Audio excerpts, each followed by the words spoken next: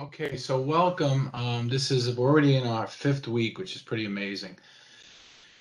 How fast this class has gone by, and um, you guys are doing fine. What I would suggest is if any of you who are watching this, we're coming toward the uh, end weeks now.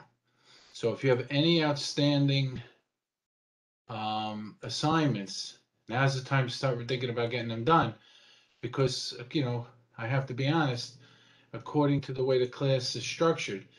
Once the last week comes, I have to uh, enter grades. I, I don't have latitude on that. You know, it's not up to me when to enter grades. So we're in week five. By next week, we'll be in week six. If you're missing any assignments, really important that you get those in. Okay, really important that you get those in. So, you know, so far so good. We've um, like I said, I've graded everything so far. so you know at this point whether you owe anything or you don't. But if you have everything in and it's all good grades, so far everything that has been graded, very pleased with. So that's the good news, right? That's the good news. Very happy with what has been graded. Okay. So this week we're on week five. Let's open it up. And what are the objectives? Examine the components of the capital asset pricing model. Explore the relationship between systematic and expected returns. Calculate the capital asset pricing model. And analyze the criteria used for asset um, valuation. So let's talk a little bit about that because that's really what it's about. Let's look at the discussion for a minute. So the discussion revolves around imagine you're a new college professor developing your first lecture on the capital asset pricing model. How would you explain the concept to your incoming freshman class? In your discussion, include the relationship between the expected return rate of return on a particular investment and the expected rate of return for a portfolio with multiple investments. What is the relationship between systematic and unsystematic risk? And analyze how the risk relationship related to the beta. Analyze how the risk relationship relates to the beta of an investment. In your reply post, comment on someone else's. So I've already added today, and I've already added a, and you should see it. I added in a few spots the the the um, PowerPoint that I'm going to use this morning. So you could, you know, this is for you for whenever you want. You can download it. Let's open it, and you can pick it up just by owning it, but but, but by opening it. But it's here, and we're going to be going over that. So that's one thing, you know, that's for your edification. The other thing I'm going to add to the discussion this morning, we're going to talk about it, is diversification. Okay, diversification. So, um, covariance. Covariance of investments. Okay, covariance of investments. So we're going to talk about modern portfolio theory. Modern portfolio theory. Let me add that because this is another place where you could, you know, do a little, give you a little extra work on it. Bear with me.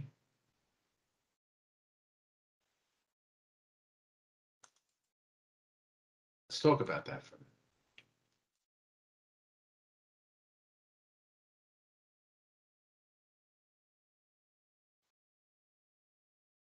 Bear with me.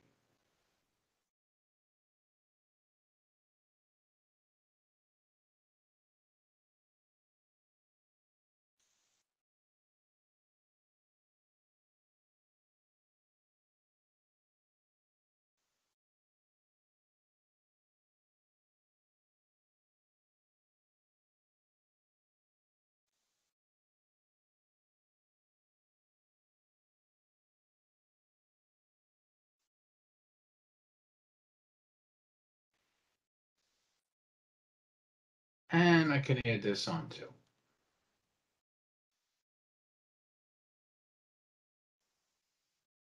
I'm going to add that last thing on that I just showed you.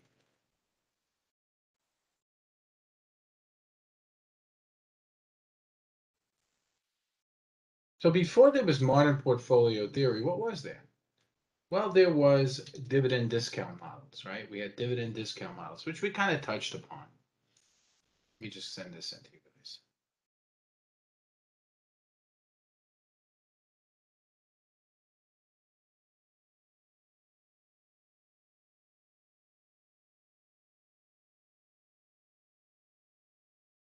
While this is loading, we'll talk.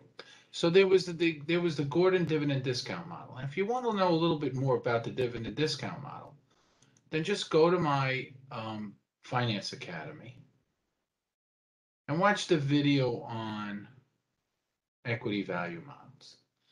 And what the dividend discount model basically told us was that you can div- you can discount the dividends of a company to get a value.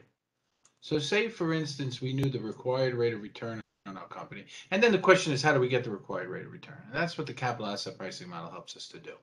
But let's look at the Gordon discount model, the original way that companies were valued. They were valued as a function of cash flow paid to investors. That was the theory. So let's say a company paid a dollar fifty a year in dividends. And of course, if the company didn't pay dividends, there is a workaround. It's good. Sometimes people say, well, what happens if the company doesn't pay dividends? Well, there's a good workaround for that. You can actually assume the, the, the payout by looking at the retained earnings. Because remember, we know from Modigliani Miller theory that investors should be irrelevant whether they get money as dividends or they get it as cash flow that gets reinvested in the firm because it comes back to them either way. If they get the money back as a dividend, they can invest it. Or if the money gets reinvested back into the company, they, they're asking the company to invest it. So try to understand that concept. So whether a company pays a dividend or doesn't, it's really a function of their growth prospects and their cash flow. But let's assume this company does pay a dollar fifty dividend. And its required rate of return to investors by using the weighted average cost of capital is 15%. And what is that? That's a combination of the cost of debt plus the weighted average cost of equity. How do we find the cost of equity? Again, we're going to talk about the capital asset pricing model. So when I divide 150, and if you watch that video, we get into all different methodologies, then the company should be worth $10. Because if I'm getting a dollar fifty a year on a ten dollar investment, I'm getting my fifteen percent rate of return. And that's really what the Gordon dividend discount model tells us. Now let's assume that dividend is growing at three percent a year. And, we know that in a lot of companies, dividends do grow. Well, then, all the only way we adjust for that, and again, watch the video, is to take the ten dollars and divide it by the product of the required rate of return less the growth. And now we get, oh, that's.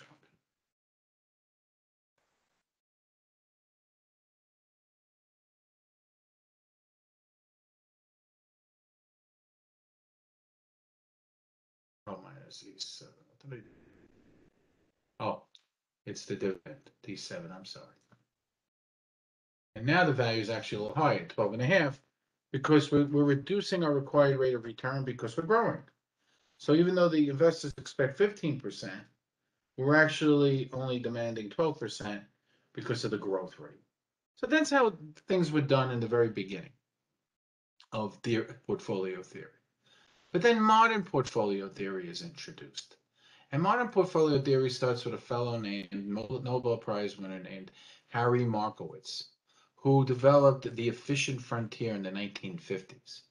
So going back to my text, and this is a kind of a kind of text you would use if you're in a doctoral program.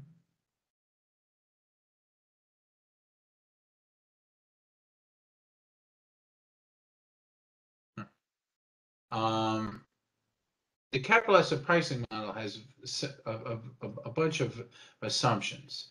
And the assumptions are investors are risk averse. That means all investors want the highest rate of return for the lowest risk. That's what it means by risk averse. So we assume that every investor is rational. It's almost like economic theory. Every investor is rational.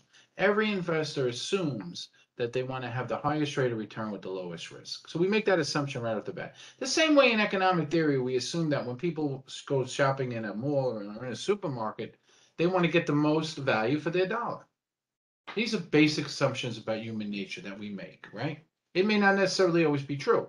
We know through behavioral economics, sometimes people do irrational things. Sometimes people overpay for things. But we assume that all investors are rational.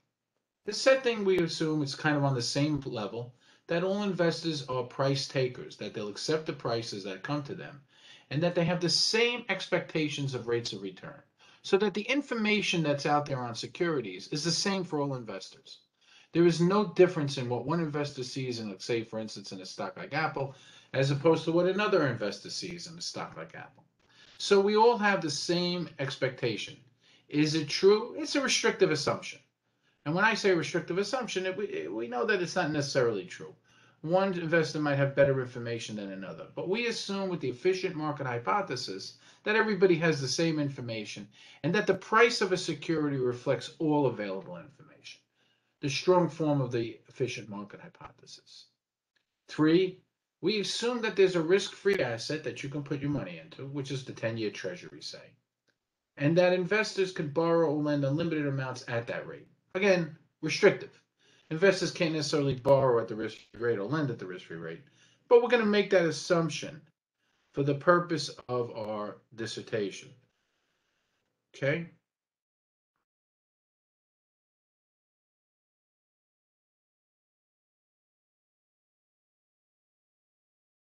Just answering somebody. Because that's the third assumption. The fourth assumption is that all assets are fixed and they're marketable.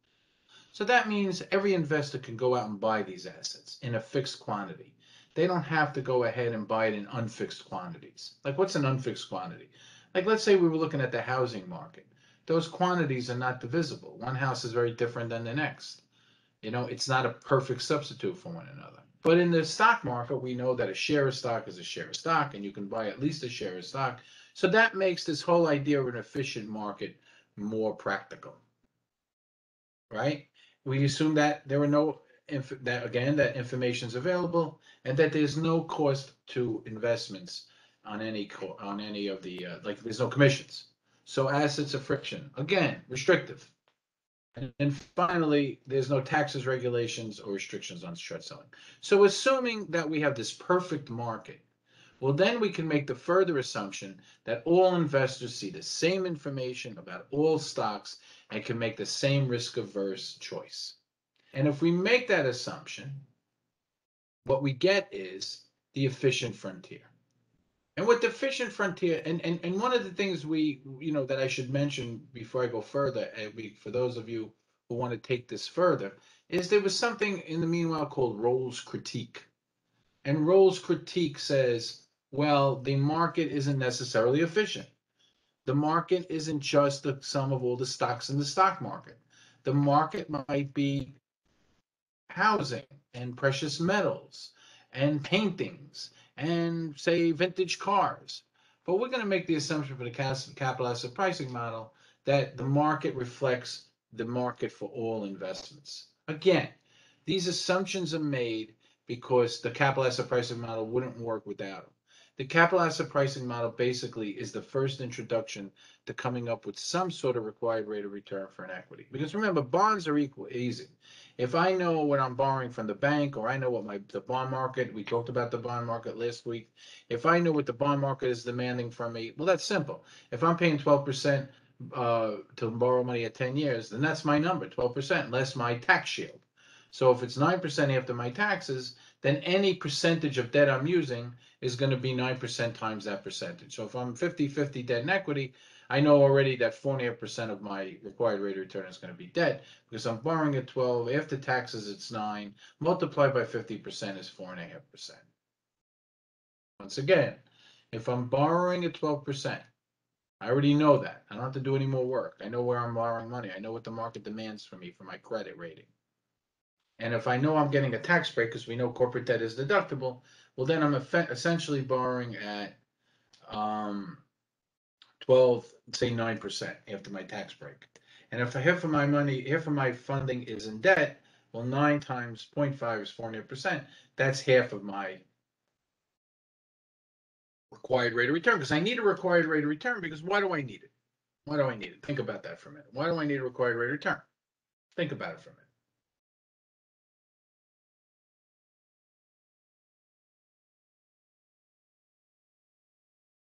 I need it because to, in order to value a company, I either have to divide I either have to divide the dividend by the, the required rate of return, or more importantly, I have to revi- divide the cash flows, the free cash flows of a company by the required rate of return. So once I know my free cash flows, I divide it by my required rate of return, and that's gonna tell me what the value of my company is. Okay? So let's move on.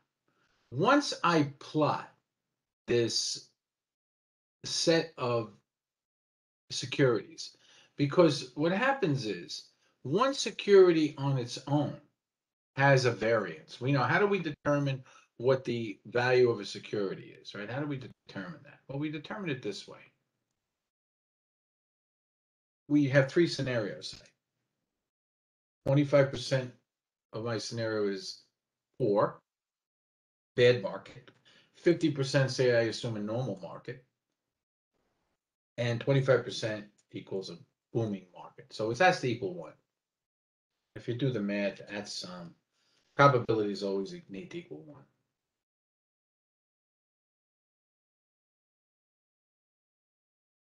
So then I make assumptions based on historical evidence, based on my own prognostications, based on Wall Street estimates. What should my rates of return be for my company in a bad market? Let's say 2%. I'll say 3%. If it's a normal market, let's say 10%. And if it's a booming market, I should make 20%. So then all I need to do at that point is take my probability multiplied by my expected rate of return, and then find those for all three scenarios.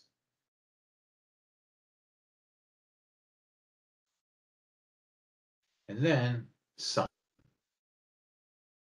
And that's my mean variance. That's my mean return, I'm sorry, my average rate of return. Ten point seven five percent.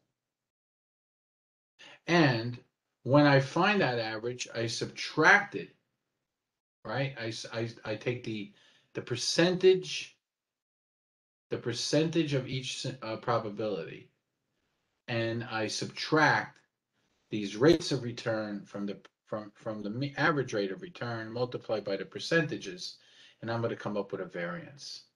And after that, I'm gonna come up with a standard deviation. And that standard deviation is going to allow me to figure out not just what my average rate of return is, in this case, ten point seven five percent, but how much that variation should move from the average. Right? How much that variation should move from the average. So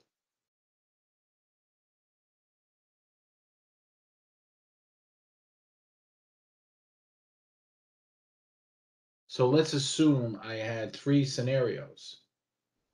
Point oh two, I'm looking at another stock. Point one. Point two. So I have, those three scenarios, three different markets. Make it, make it pretty, I'm gonna make the percentages. Well, I could use Excel, you know, I'm not gonna go over, if you go into my um Stats Academy, you're gonna have a lot of um and you go in Finance Academy, you have a whole bunch of videos I did on standard deviation. So I urge you to watch those because I'm not gonna spend a lot of time on stats right now. I'm just gonna go right to the chase here. But all I have to do at this point is ask for the variance. So go to formulas. Statistics.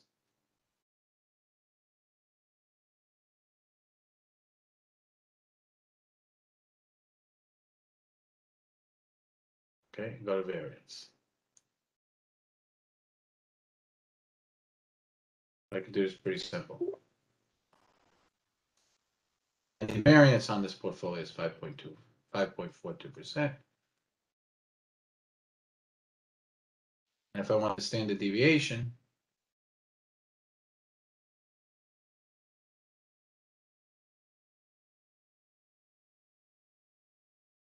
to standard deviate. It's 0.09%. So now I know that that's my, my average rate of return. How do I know my average rate? Then just go to average. Excel, all you gotta do is ask for the average.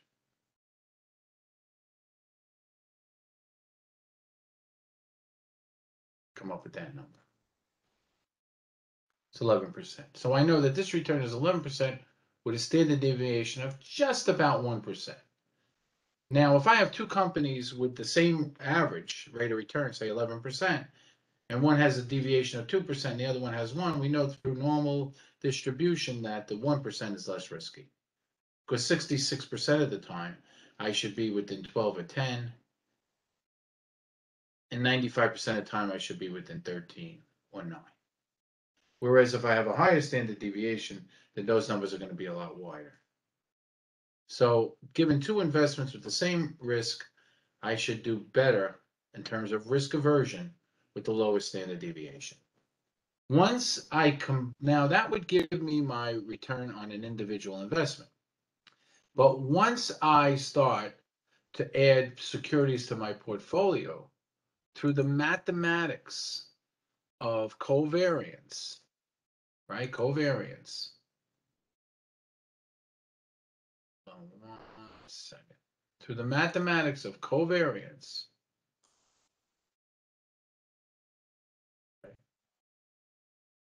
The mathematics of covariance, I could get a lower rate of return. And what and that's part of modern portfolio theory. So what covariance tells me is that using the covariance formula, and we're not going to get too deep into the math right now, but basically what it says is if I start putting stocks in a portfolio, if I buy a company that's exposed to oil, like say for instance an energy driller that produces oil and is exposed to the price of oil, if oil goes down they lose money and oil goes up they make money. Well then all I need to do is go out and buy a company that has the opposite effect, like a, an airline who if the price of oil goes up, they lose money and the price of oil goes down, they actually make more money. And if I start adding stocks to a portfolio, I eventually lower my what we call unsystematic risk. My uns there are two types of risk in a portfolio. Unsystematic and systematic risk. Unsystematic risk is the risk that's indigenous indigenous to a stock. For instance, oil for a plane, for, for an airline, or to an energy driller. Um, people not wanting to take in too much sugar for Coca-Cola, but people not wanting to take too much, too much sugar might help a diabetes drug maker. All these things make up this unsystematic risk. And through the and through the covariance formula, if I put all of my variances together, I lower my overall risk. In other words, just try to understand this. Risk is not, deviation is not additive. If I keep adding stocks to a portfolio, I don't add the deviation. I actually reduce the deviation because they move in different directions. Stocks move in different directions. An oil company is going to move in a different direction than, say, an airline. A food processor is going to move in a different uh, um, direction than, say, a copper mining company. But as I keep adding stocks, I can eventually reduce the risk in my portfolio. And generally speaking, modern portfolio theory tells us that the more stocks I add, the lower I my the more stocks I add, the lower my risk. Probably after 30 or 40, I lower all my at one point, I can essentially lower all my unsystematic risk. My my unsystematic risk, which is my risk that's indigenous to my portfolio. And today's um and today's keyword is going to be risk. So watch what happens as I continue to add stocks to my portfolio. They keep canceling each other's risk out until all I'm left with is the systematic risk. So unsystematic risk again is the risk that comes up with, is the risk that we see with each stock on its own. It's the risk that exists in each stock on its own. But this, the risk that every stock has together, for instance, COVID affected all stocks. A hurricane, a natural disaster, all stocks. a war, God forbid, all stocks. That becomes the systematic risk. So what portfolio theory tells us is I can hedge out my unsystematic risk and get it to down to the risk-free rate. Because once I hedge out all my risk, all I'm going to get is the risk-free rate. That's how arbitrage theory works. And that once I hedge out all my unsystematic risk, all I'm left with is the systematic risk, which is the risk in the portfolio. And that's the, the basics. That's the basis of the of Markowitz's efficient frontier. So what we see is, and using all this fancy math, which is basically the math behind the covariance, and the assumption that all investors have the same view of the markets, we get this risk-free rate. And we get this, this, and if you plot all of the stocks in a portfolio and find their most efficient levels of risk versus return, you get a graph or a plot or a concave line that looks something like this. Anything below here, this on the x-axis, we have risk or standard deviation. And on the y-axis, we have expected rate of return. So anything below the median right here, we're not going to want to get involved in, right? Because I'm getting the same rate of return. I'm getting lower rates of return for the same risk. This is risk, this is return. So everything I'm going to want is going to be above this line, right? Everything I want is going to be above this line. Let me annotate for a minute. Everything I'm going to want to do is going to be above this line. So, because anything down here is inefficient. And then what I'm noticing here is anything above, now this is going to be, so then what, what we do is using calculus, and again, you don't need to get into the heavy math here, but if this is where I could put my money in the risk-free markets, then I can draw a line to this efficient market that's tangent to my efficient frontier. And using calculus, I can find a point where it's most efficient. That's just using calculus. That's how they originally did it. You just have to do a, um, a, a Newtonian calculus calculation. Once you've done that, you find the point M that's the most efficient and the assumption it's most efficient. It's the highest rate of return given the lowest risk. And that is a function of all those assumptions we made at the very beginning of this video. All investors are risk averse. All investors have the same view. We know those are restrictive. We know that that's not necessarily true, but we believe that for the purpose of the capital asset pricing. And this line is the capital market line. It's the rate of substitution. So if I want a higher rate of return, right, I'd have to go above the line. And what this, notice that the that once I hit that efficient point, I can add on more return by taking on more risk, but it's marginally less helpful to me because it's such a more it's it's a kind of a shallow line. It's not like it goes up like it's oh okay, hold on a minute.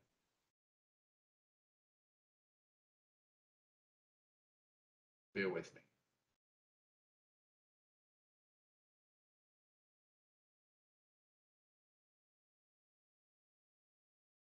Uh, it's not like once, uh, okay, why is this happening?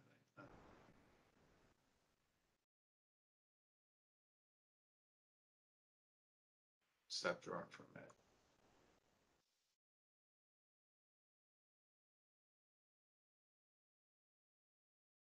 It's not as if, um, when I add more risk, I'm gonna get just as much return, because then the line would look like this. No, I just get marginally a little more return. So basically, most investors are going to want to be right here. If they want more return, then they're going to borrow money along the capital market line. And that's going to be this. They're going to borrow more money. And if they want less return and less risk, they're going to put more money into the risk-free asset, put more money into, say, risk-free bonds, and own less of the market. And they're going to be down here. So that means that's the assumption that investors can borrow and lend at the risk-free rate. But once they're here on the line, they're in the most efficient part of the market. And that's the, the assumption we make when we look at the capital asset pricing.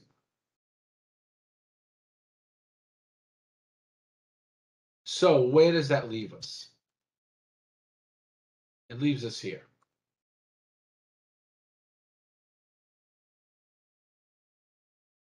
It leaves us at a point where we get the capital asset pricing model. And each stock, now, so let me go to now my, now let me go to, so once we understand how diversification works, works and systematic and unsystematic risk works. Now that you know the basics or the basis for the theory here, and the keyword is risk, we can go to my PowerPoint. So the capital asset pricing model helps in determining the proper discount rate when valuing equities. One could discount free cash flow using the capital asset pricing model. We just talked about it. Capital asset pricing model gives us the required return on equities. Bonds give us a retired rate on, on bonds. We combine the weighted average and we come up with a required rate of return.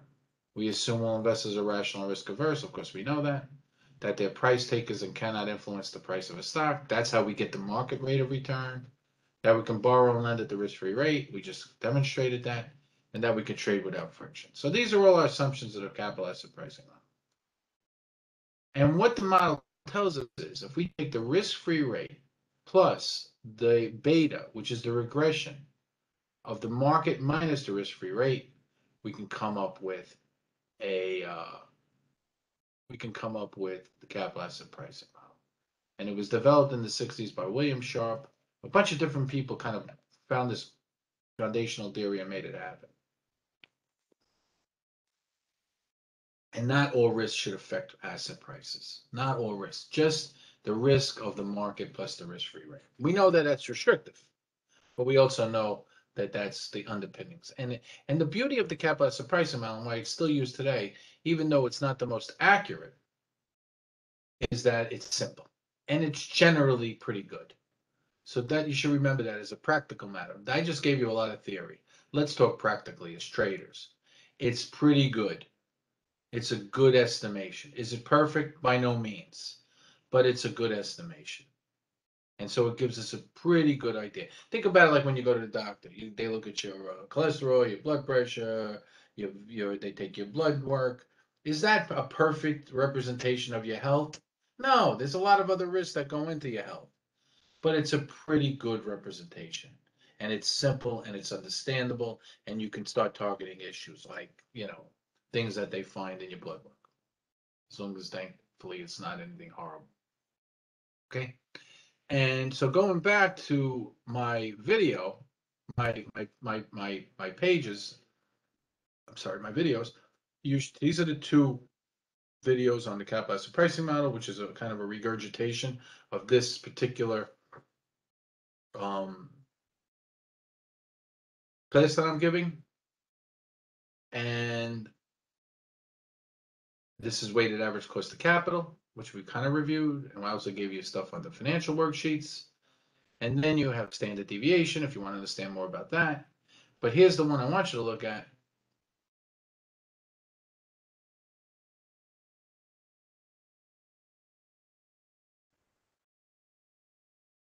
Calculating beta. Because what we're trying to do is measure the return on the market versus the return on a particular stock. Okay, so if I do a regression, and again, you got to go through regressions, and hopefully your background in statistics help you to start at one point, right? Hopefully your background in statistics help you at one point. Stop annotating.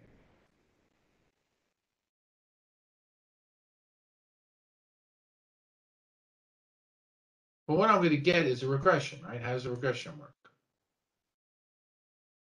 So I'm going to plot my expected return of my stock versus my expected return on the market.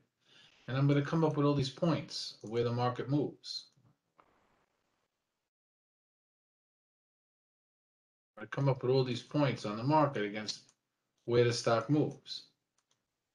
Right? That's how regression looks, right? So this one point will be the market, one point will be where my stock moves. And then I'm going to get the best fitted line.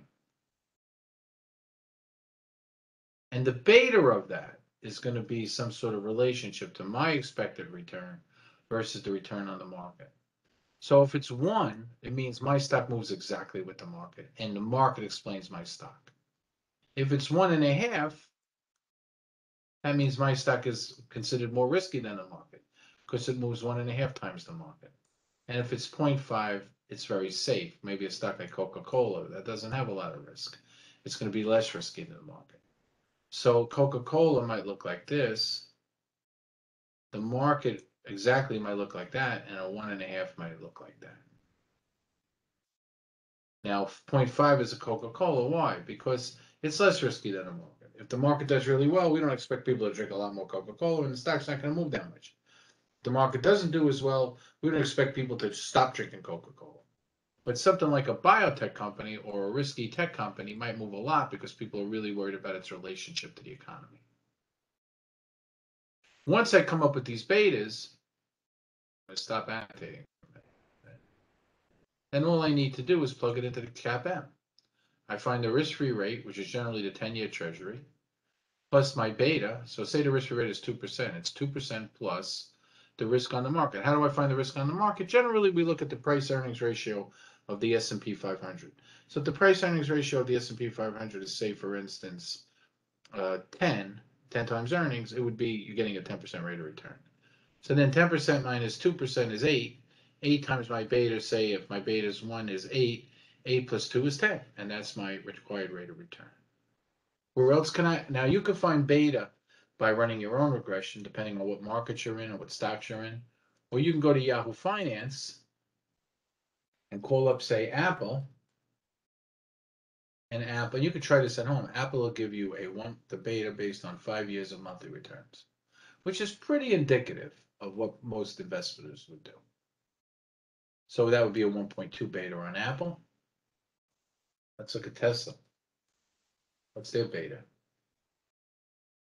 Exactly two of the market. And you should that should make sense to you. Tesla's a very risky stock. About Coca-Cola? What's their beta? 0.61. So just as we talked about, the beta should be kind of relate to the risk. And that's what investors are telling you. That's what makes this CAPM so elegant. It's what investors are telling us. So we the risk-free rate is assumed to be the 10-year treasury bond because it's assumed to be the safest investment. We have the constitutional protection of our country, we have the monetary stability, and we have political stability. So that's why we use the 10-year treasury. And in this particular instance, at this point in time, the 10-year treasury was trading at 2.96%. But you can go to the Wall Street Journal and find a quote on the 10-year treasury. And I also urge you to think about a student subscription to the journal. And there you go. 1.48%.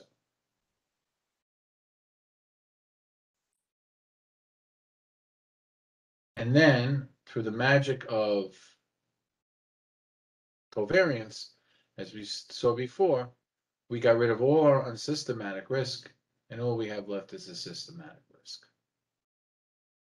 And we diversified our risk away through covariance.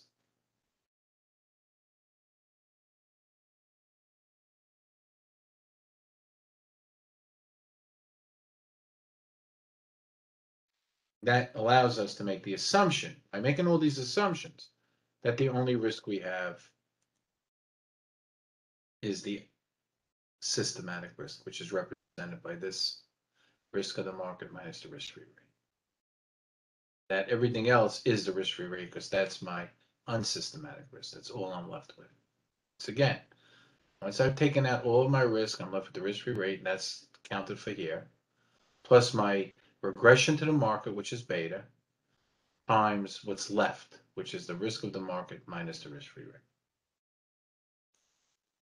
If it's a beta is above one, the stock is less risky. I mean less than one. Betas that greater than one, the stock is more risky. Does it mean it's more risky? What it means is investors perceive more risk. Is really the way, way, should, way, way we should look at it.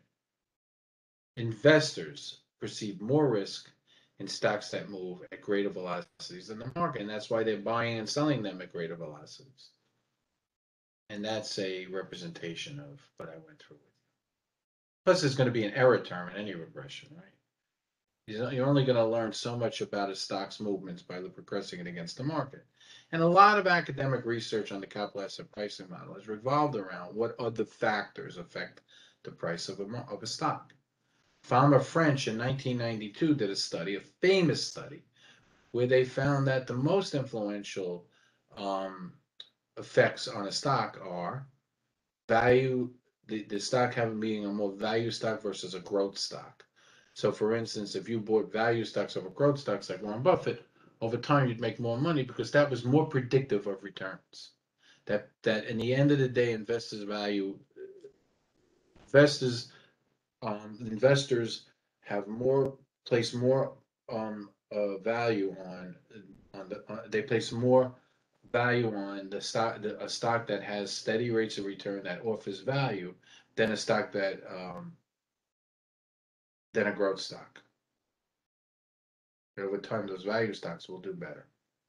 And then the other, the other, um, um, theory that they came up with, which has been kind of proven and some fund, and many funds have been gotten involved in, is that investors will place higher rates of return on smaller stocks rather than larger stocks. So smaller stocks will be more valuable over time and- have higher rates of return. Further, um, parts of the theory found that theoretical assumptions that betas change over time. And if we use just one beta, we may have a bad, um, in- indication of what the stock should be. That betas changed with events, right? All of a sudden, a stock might be a biotech that doesn't have a proven drug. And then all of a sudden, the drug is proven and the beta changes. It becomes more of a value stock. Because now the cash flows are more steady.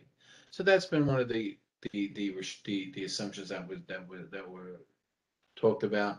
Other assumptions were that, um, that, that were attacked was theoretically was that the risk-free rates change. So again, the capital asset model has come under a lot of criticism because it's a simple two-factor model. But for the most part, it's simple and it's, and, and, and it's indicative. As I said, it's easy to use and it's mostly good. Um, later on, um, Ross and uh, Cox, Ross and Rub, no, Ross and came up with the, uh, arbitrage pricing theory. And that, what that said is we don't need all these assumptions. Uh, by using the free arbitrage theory, uh, you could find a stock's rate of return by testing different factors. In their particular study, they found that things like industrial production, inflation, those sort of things, GDP affect the prices of stocks, which makes sense. But that you can apply the arbitrage pricing theory to just about any stock. So once I have all of these factors and I have no more expected rate of return, then those factors have to be indicative of what moves the stock. Think about it. Think about what I'm saying. If if um, GDP affects my stock, if um, inflation affects my stock, if um, productivity affects my stock, and those three factors put together equal the, the the risk of my stock, and there's nothing left, I'm at zero. Well, then using that's the arbitrage theory that those three factors will predict the price of the, the- what moves my stock, and I can use those three factors to predict future rates of return. But with the capital asset pricing model, we're just gonna use the flat market. So I told you how to find beta. And how beta is calculated, and please just watch those videos. And finally, when you do the market, and then to find the market, we find the PE of the market, which back then was twenty-four, which means the market's returning four percent. So you find the price earnings ratio of this S and P five hundred, and that's gonna tell you your market rates of return. Well, At least that gives you a good indication of your market rates of return.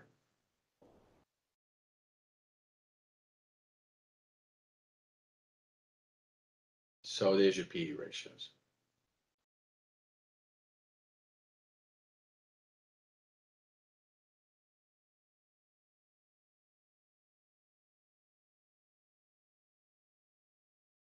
Very high PE, PE ratios now, probably, if I look at the S and P five hundred, they're very high. So the market's returning very low returns, like three percent. Right, if I'm paying thirty-seven times for earnings, well, one divided by thirty-seven is gonna be like two and a half percent rate of return on the market. So the markets are not, are very overvalued using PE ratios. But if the markets continue to grow, we can justify those. And now I just take that rate of return minus my risk-free rate multiplied by my beta. And I did Ford here, two point nine six percent plus 0.87, which is the beta for Ford. Multiplied by the difference between what the market is returning minus the risk-free rate. And I'm gonna come up with a capital asset pricing model of three, almost four percent. So it means Ford's expected rate of return on equities is gonna be four percent. And if that makes up fifty percent of my my portfolio, of my, of my um, financing, then it's two percent. and let's say debt was another four percent, and that's the other fifty, it's two percent, then blend it together, my expected rate of return is four percent, and I could discount my cash flows by that number. And again, this PowerPoint is gonna be in the, I've added it to the classes. So don't forget, don't forget. Capital asset model helps in determining the proper discount rate when valuing equities. One could discount free cash flow sequence using capital asset pricing model. It assumes all investors are rational risk averse or price takers and can borrow and, and, and with immediate liquidity using the risk-free rate. Can trade without friction. These are all the assumptions. If we use the, um, if we use the, uh, arbitrage pricing theory, it'll come in a little different. So that's our class for today. Um, our keyword again is risk. And hopefully this is helpful. Any questions you have, you know where to find me. Thank you.